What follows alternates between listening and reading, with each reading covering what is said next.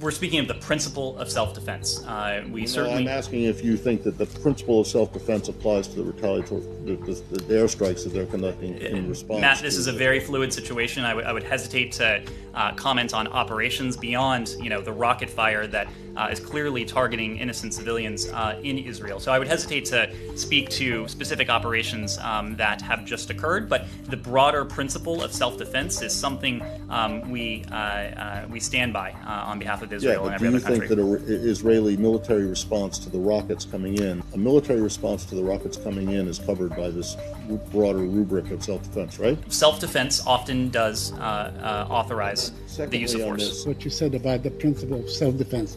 Does that in any way apply to the Palestinians? Do they have a right to self-defense?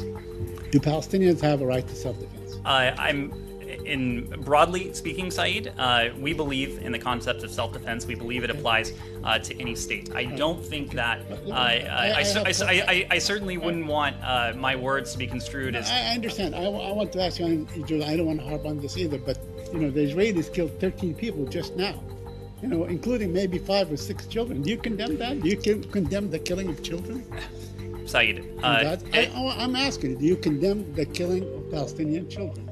Obviously, uh, and these reports are just emerging, uh, and I understand. I was just speaking to the team. I understand we don't have independent confirmation of facts on the ground yet, so I'm very hesitant uh, to get into reports that are just emerging. Uh, obviously, the deaths of civilians, uh, be they Israeli or Palestinians, are something we would take very seriously. Your answer, you're going to know as soon as I read what your answer was, that there's a big problem with it. You said, well, not a problem, it just doesn't answer the question. We believe that it, meaning the right to self-defense, applies to any state.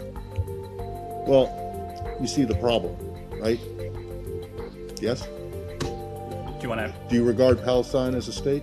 I I wasn't referring. Do you think that, do you, do you, But I- you, but you I- don't but- in the context of the ICC and the UN? I- so are you and- saying that you do not, if it applies to any state, are you saying that Palestinians don't have a right to self-defense? I I was making a broader point, not attached to uh, Israel or Palestinians in that case. So they do have a right to self-defense.